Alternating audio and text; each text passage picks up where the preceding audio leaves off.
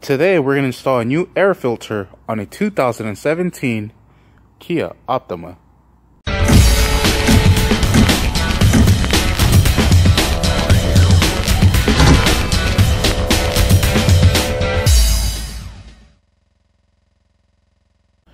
Alright, I just made a video of how to remove the old air filter.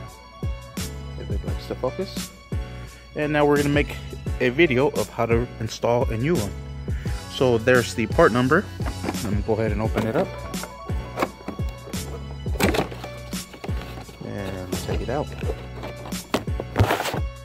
Both hands. Alright, so the way this goes is I pulled it out like this. So I'm going to put it in the same way. Oh, and there's no wrong, wrong or right way because it doesn't go in this way. It could only go in one way. All right, so let's go ahead and shove that in there. And like so. These little pins. Lock it into place. I don't know why that one's popped out. Alright, I went ahead and fixed it real quick. It was off the track on this side. So now that that's fixed, let's go ahead and place that into place and just lock it and lock it. There it is, nice and locked. Didn't go nowhere. And we'll just secure this. Try to latch that one that it has. And there it is.